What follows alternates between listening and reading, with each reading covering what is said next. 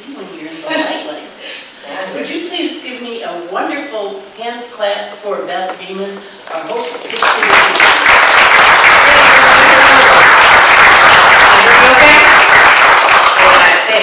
headset on. I was actually just, uh, took a moment, went to the restroom a little bit ago, and went, oh my God, I've got the headset on, I hope it's on. So, welcome back to the Playhouse for those of you who visited us before. How many of you were here before we closed back in 2016? How many of you were here? Awesome. And so how many of this is your first visit to the Playhouse since it's been renovated? Oh my gosh, a lot of you too. So welcome, welcome back to your community playhouse.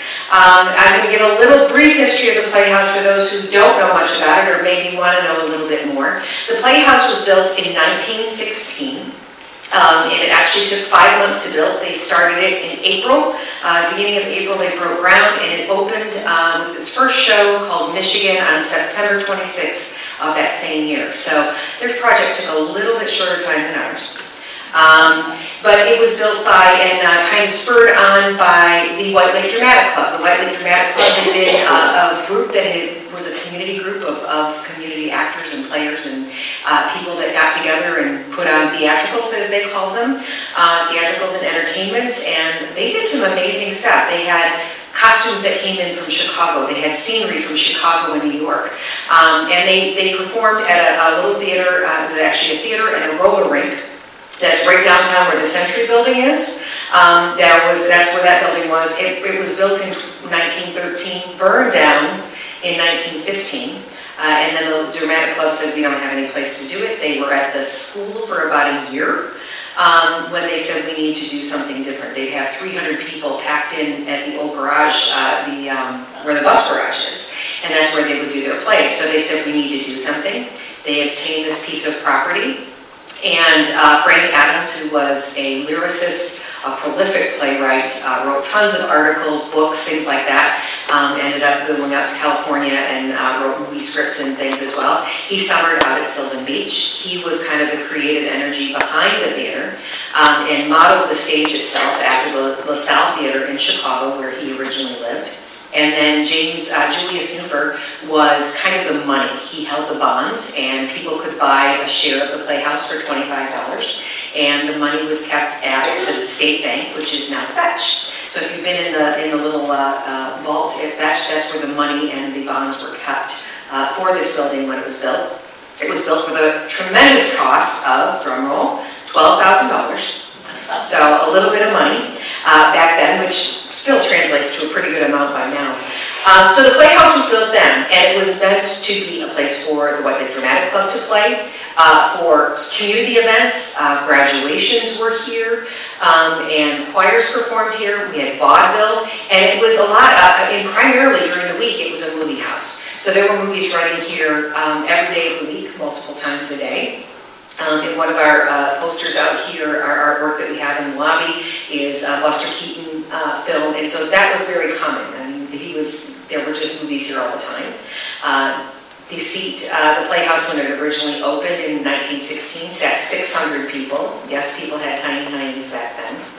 And uh, now we see 367. So our seats are a little bit wider, a lot more comfortable. Uh, two of the original seats are right out here in the lobby, and as we go out and do our, our tour, I'll point those out to you, as well as the projector, which is out there, uh, was gifted to us um, back to Playhouse from uh, the folks that own Lewis House next door, the Hillebrands. It was in their basement um, Blue Lake Fine Arts Camp uh, ran, the, uh, ran the theater and owned it for about 43 years. Um, they also owned the Lewis House next door and it ended up in their basement.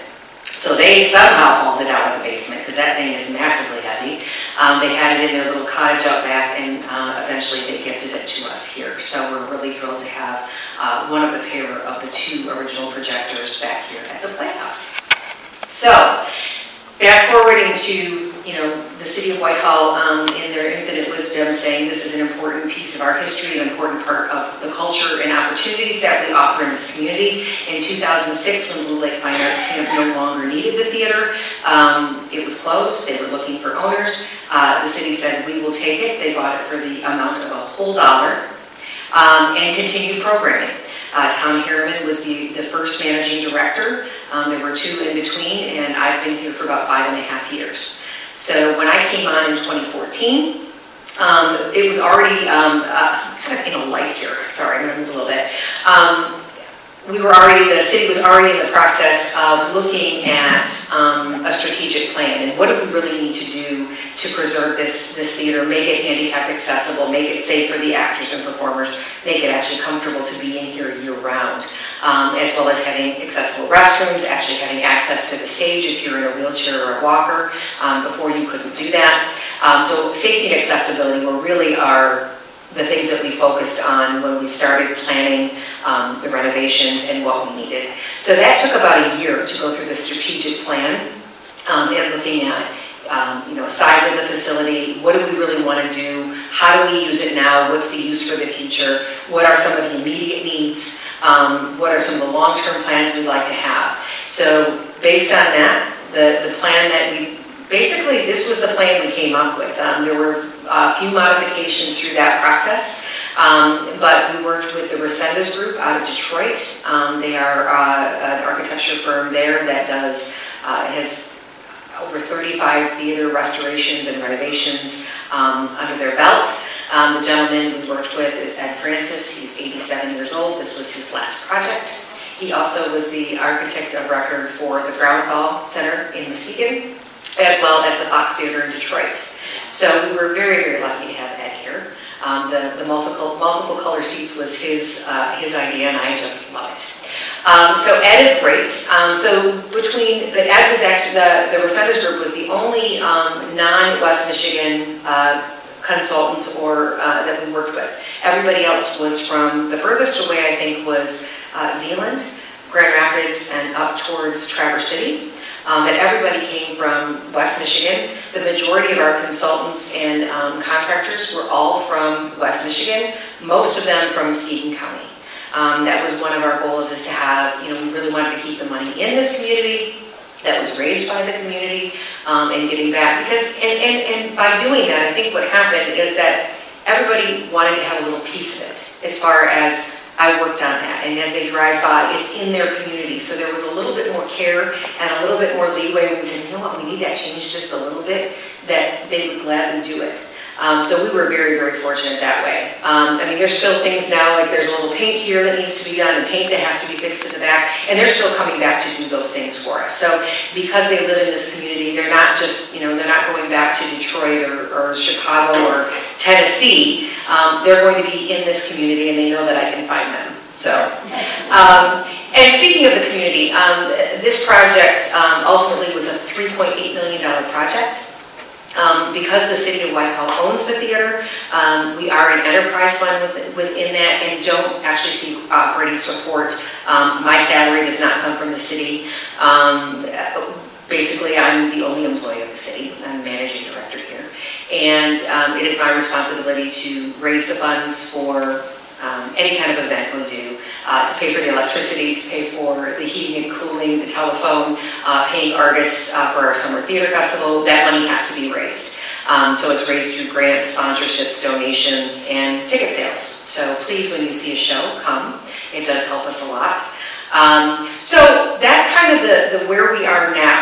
So this is what we call a ghost light. And we actually had a ghost light before we closed. And somehow in the restoration and the renovation, it got lost. Um, And I think one of the construction guys thought it was not something worth saving, and they tossed it. So this is a brand-new ghost light that we have. Uh, It came at the end of the Summer Theater Festival, and uh, the ghost light is traditionally left on stage for a couple of different reasons. Um, The the the story is to keep the ghosts at bay, or at least to keep them company, um, the ghosts in the theater. And yes, in the past, we have had what I would consider a friendly ghost. Um, And We call her the Lavender Lady. Um, And I haven't seen her or heard her much, but we do actually, every once in a while, and I'm not kidding, this is actually for real, this sound, you hear it. And it's usually up in the side of the balcony. Don't know why, it's weird. Um, But the ghost light, uh, technically, it's actually just to make sure when you come in here in the dark that you don't fall off the stage, because that's. So, but yeah, that's our ghost light. The Playhouse was meant to be a place, a, a community gathering place, a place for community people to be able to do shows, to play, to come and do music uh, for youth theater arts education, things that I think we've done and we've done well. Um, One thing, I'm actually have a meeting next week um, with a few of our area actors, performers, producers that are interested in revamping and uh, rebuilding the White Lake Dramatic Club. Uh, Yes, I know, it's very exciting. So we will have our own group of community players again. Um, The Summer Theater Festival um, is, um, there are actors that are, some are professional actors, equity actors, uh, part of the union. Some are just actors that have been doing it for a long time. Uh, Most of them have a uh, a degree in theater. Um, uh, And that's what our Summer Theater Festival is. And all of those folks get paid. Everybody from working backstage to uh, people that work in the box office to all the actors, directors, everyone gets paid in the summertime. So this would be more of a community theater, where it's more of a volunteer effort. Um, And so that is definitely something I want to do. And then beyond that, it's really kind of um, opening ourselves up to um, bigger name acts, things like that. Um, With Peter Yarrow coming in, I think that's really great. Um, We've uh, partnered, I'm currently working on a new partnership um, with a gentleman who's interested in bringing other bigger name acts into the Playhouse, that he would be renting the facility, and then we would be able to enjoy those shows. Uh, We're also, I'm working with the Grand Rapids Ballet um, to have some traveling shows coming up here, uh, at least a couple of times a year. The biggest challenge right now is because I am the only employee of the Playhouse, um, that I'm limited in how much I can do. Because that means I'm working all day and then I'm here all night or I'm here all weekend, and I can only do that for so long. So, um, and somebody asked me, I said something about the, the popcorn bucket, I was, like, oh yeah, I didn't get a chance to vacuum, she said, you gotta clean here too? So yes, right now I'm still cleaning here too.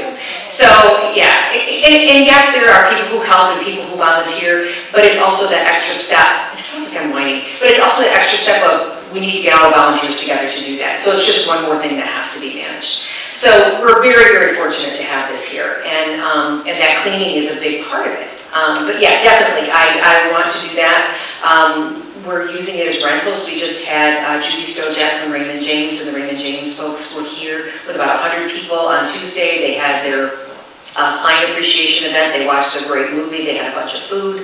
Um, I've got a 50th birthday party here. Uh, somebody's renting the entire lobby uh, for that. Um, There are a lot of uh, corporations and- and uh, businesses that are interested in doing their holiday parties here.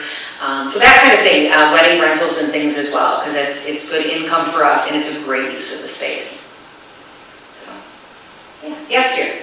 Are are there seats in the balcony? There are, there are, and they're wonderful. Actually, and I'll tell you, give you my secret, the second row center in the balcony is my favorite place to sit.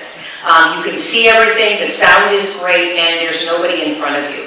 And there's seats, the seats in the center were seats that were never there before because the production, projection booth used to be there. So when, if you are, are able and interested, you are welcome to go up and check out the, uh, the, the upstairs. Um, it is a wonderful place to sit. Yeah. Oh, and while you're up there, look up, and if you haven't looked up, look up. Um, This was one of our big discoveries um, during the renovation process. Um, This, it used to be that there was a black drop ceiling that was plaster and lath.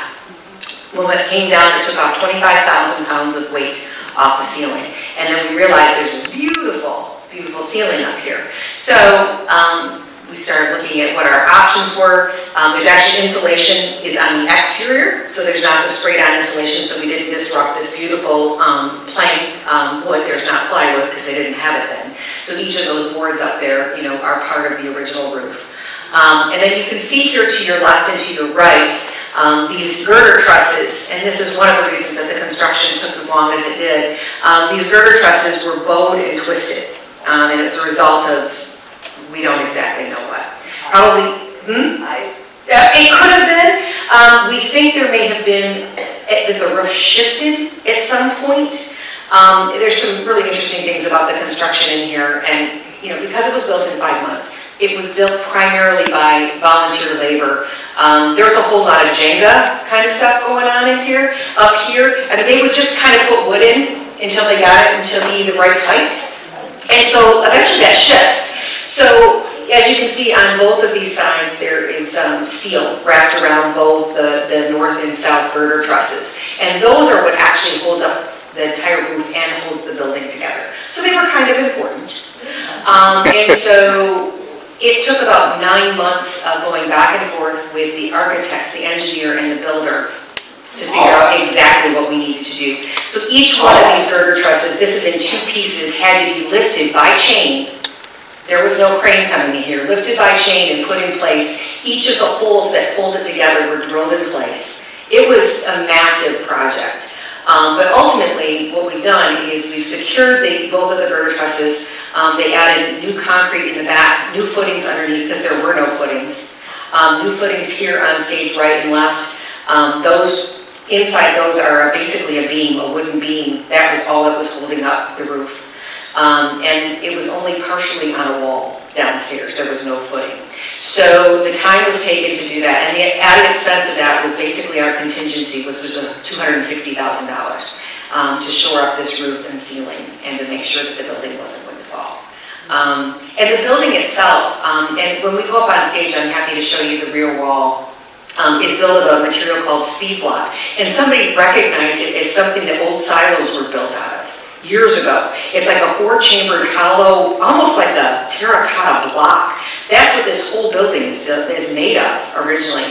And the challenge with that is that there was no rebar, there was no concrete, there was no cement inside. It's just these hollow blocks. So when they started looking at, you know, renovating this and adding weight or taking away weight, and especially with adding this much steel, there was a lot of concern with how much of that weight, um, you know, how do you calculate that? And I'm, I'm absolutely in awe of the folks that can do that work. Um, But it, I mean, I, and, and, you know, structurally, it, it just is beautiful. I think when you look up there and can appreciate what they, what they actually put together. It's like a barn, basically barn construction. This stage right dressing room, there was a wall in the corner behind the curve cyc, which is no longer there. But we pulled out that wall, and it's like they just covered it, they just took the drywall and covered up a closet, and there was still stuff in the closet. There was a chair from Blue Lake Fine Arts Camp, there were jelly shoes, remember the old jelly shoes from the 80s? And there was this wallet, there was all this creepy, weird stuff. But this wallet had the guy's social security card, his driver's license, it had pay stubs, and my husband, who was doing the demo with me at the time, knew the guy. And so we found the guy's sister on Facebook, and we ended up mailing his wallet back to him from, it was from 1980. So, who knew? Um, so lots of really cool stuff, lots of liquor bottles, people were some heavy drinkers. I don't know, I think, I'm guessing it was the builders because they were pre-prohibition liquor bottles, and they were found behind the cyc um, which is like around was a plaster curved wall um, that uh, people thought it was for sound. It was never actually for sound. It was always for light projection uh, to give a sense of space, um, things like that. Uh, unfortunately, uh, due to its condition, uh, we were unable to say that the restoration costs would have been prohibitive. Um, but you know, we have a really cool model of it up here too that was presented to us at the, um, at the time of the open house by our architect team. Uh, They knew how much that uh, it meant to the community, so we have a cool little 3D model of that as well. Um, So if you guys, if you want to go on the tour, I welcome you to do that. Um, If you want to grab a donut and something to eat while we walk around, you're welcome to do that as well. Is that fine with you? As you know, the Playhouse was built in 1916, um, and uh, what we tr- tried to achieve with the renovation was to preserve what was here and then expand it for safety and accessibility. So as you're looking at the front of the Playhouse, the the facade that exists now is very similar to what it was back in 1916.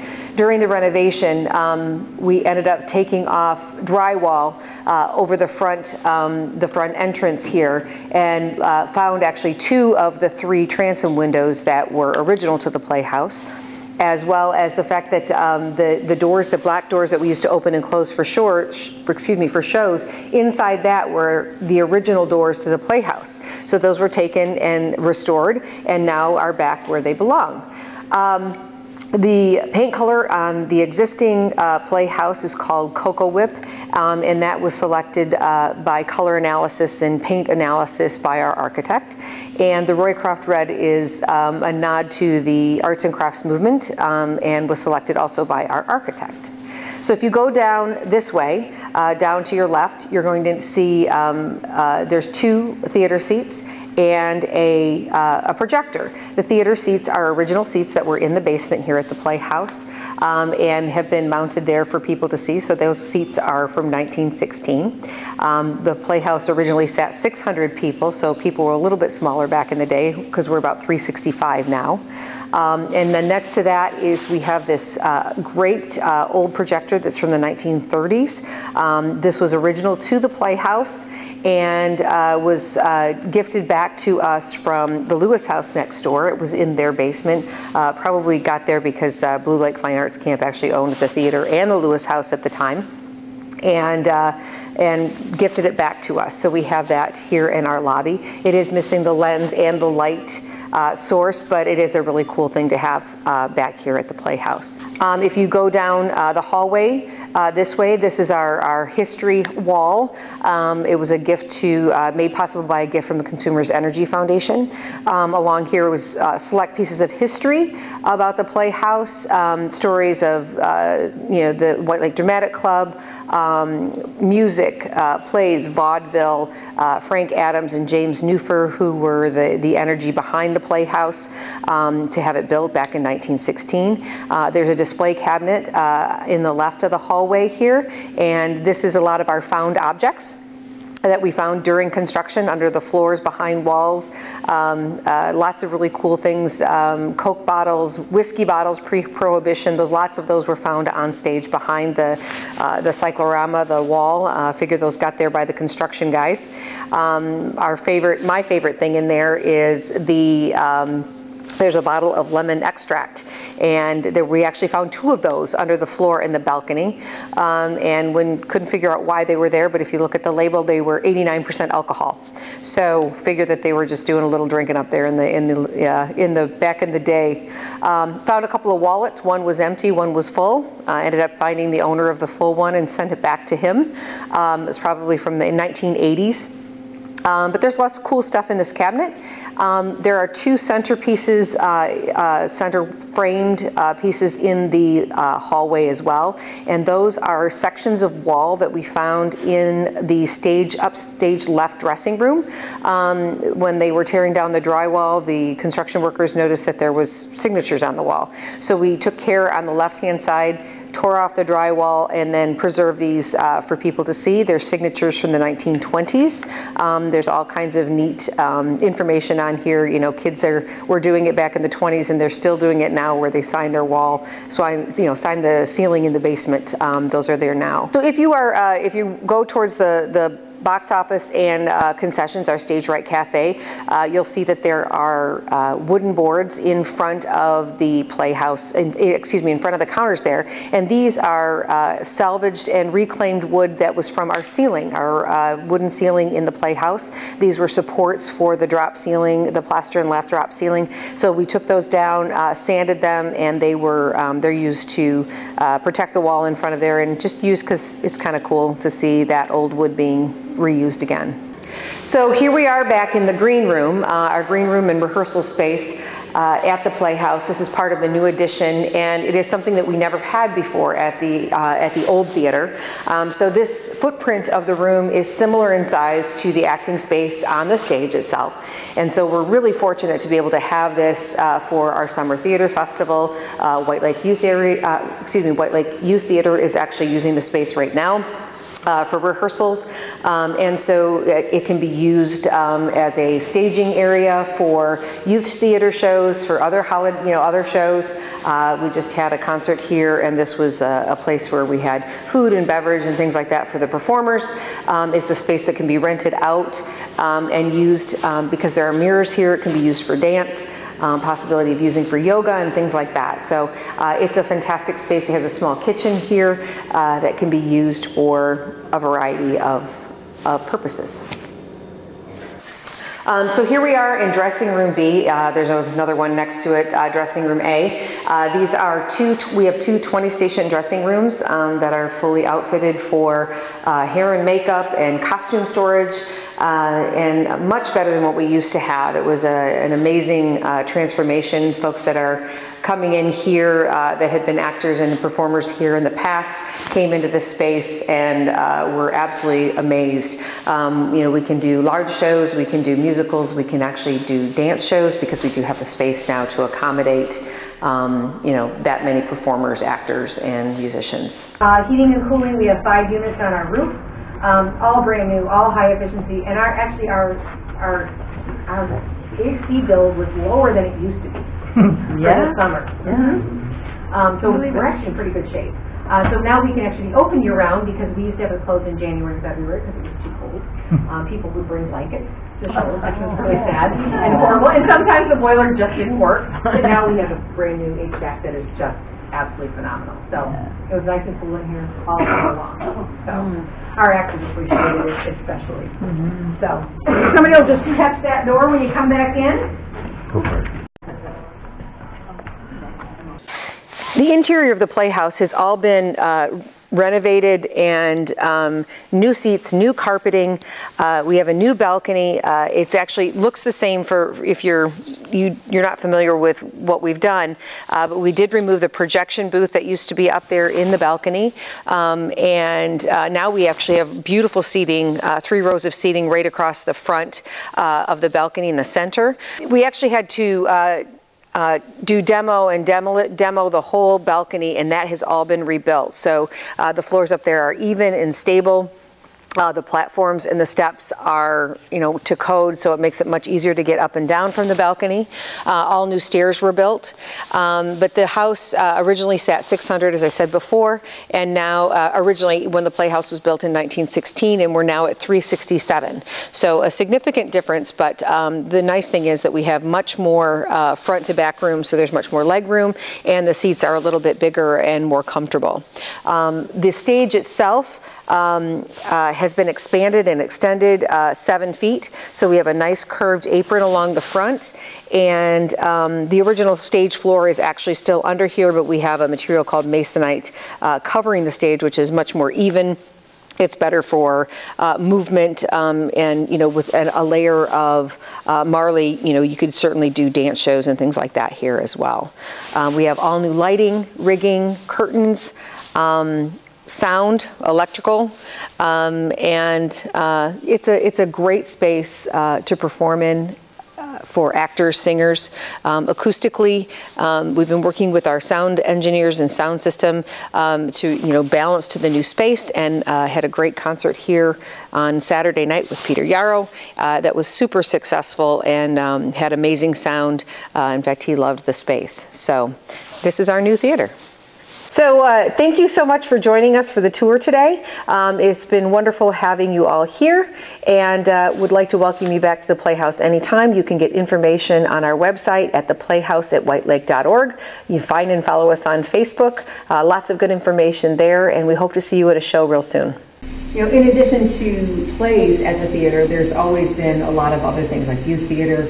Um, they've done graduations here. There's music, uh, which has always been a big part of the Playhouse.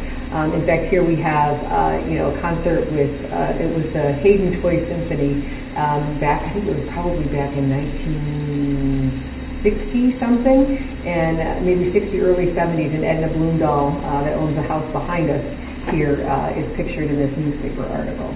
Um, White Lake Youth Theater, which started in 1973, has a long history that's still uh, going today. Um, lots of really cool newspaper articles and photographs here of you know kids from a long time ago and kids not so long ago.